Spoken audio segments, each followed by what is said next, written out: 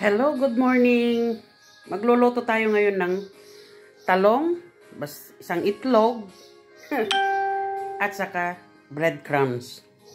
Ito gagawin natin prito. Let's go!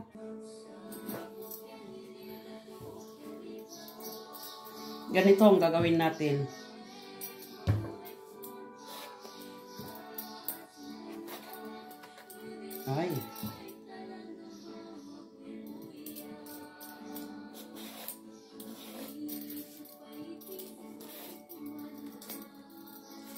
Kasi dami ng talong na sisira na kaya iluto ko na lang. Hmm.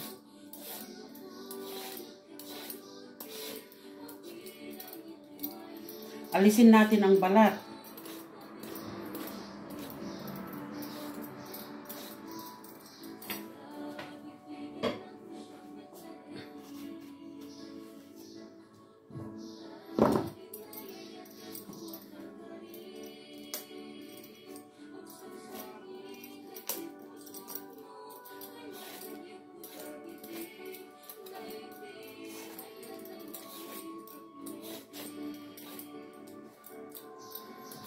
Oh, ganyan. Oo.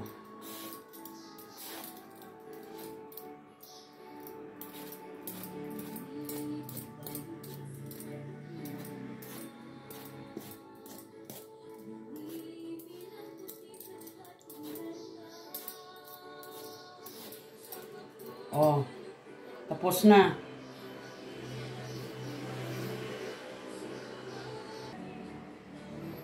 Ngayon, ganito ang gawin natin. Dinabalatan ko na. Hiwain natin.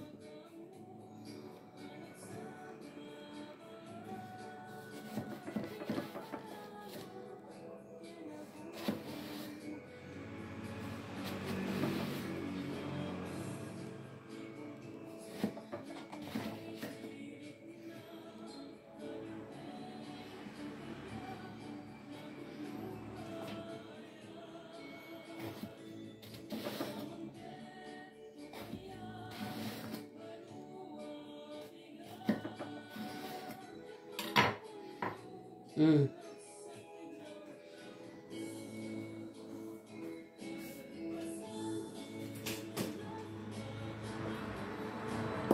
Lagyan natin ng asin itong tubig na pangbabad. Oh. Ibabad natin and leave for 5 minutes to absorb the salt at saka para lumambot.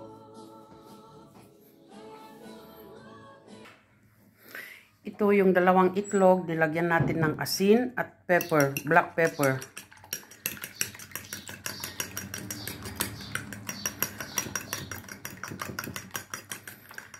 Tapos, ito, alisin na natin yung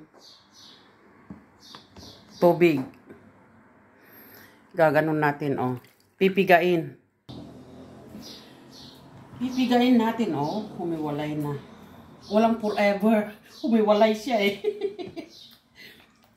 pipigain natin ganyan. Oh, walang forever eh.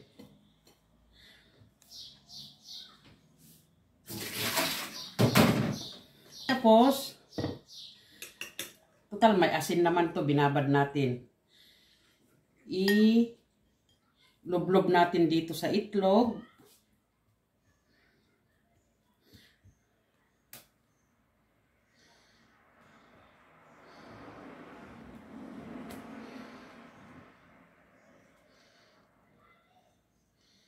Ay, walang forever. Hindi marunong kumapit. Oh.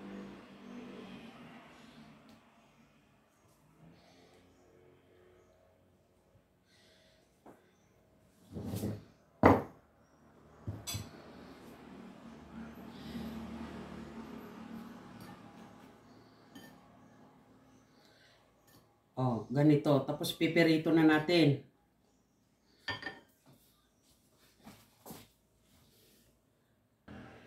Ay siya, maglalagay na tayo ng mantika.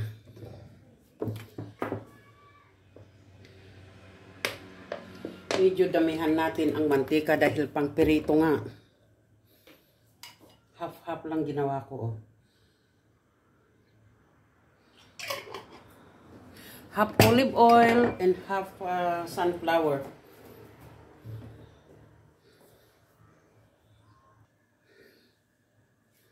Pwede nang ilagay.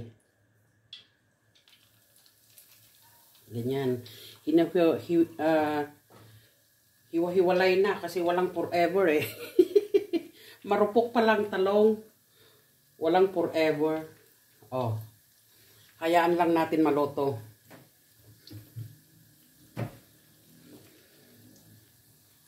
At saka yung ang apoy, hindi yung malakas, yung katamtaman lang para hindi masunog, hindi rin maano, kaya tamang-tama lang yung apoy.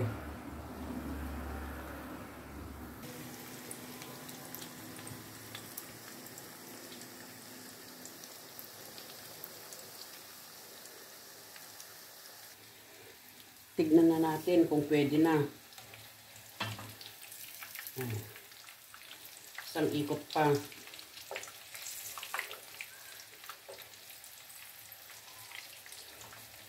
I'm sure magugustuhan ito ng mga anak nyo. Sasawsaw lang natin ito ng ketchup. Masarap siya. Promise.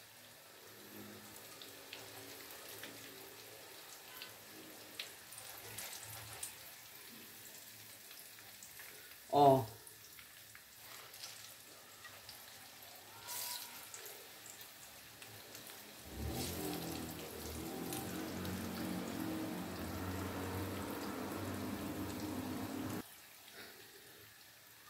Tama na to.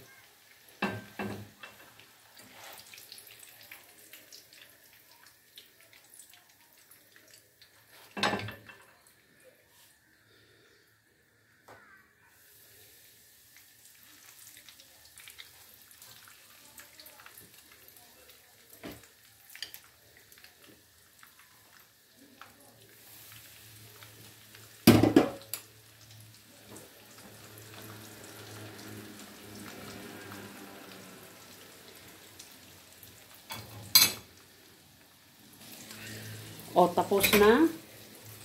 At pwede na natin ihain. O.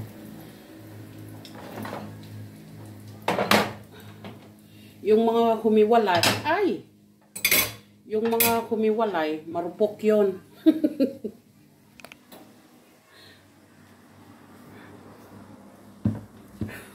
oh, pwede na tayong kumain. Okay, bye-bye. Thank you for your watching. Bye.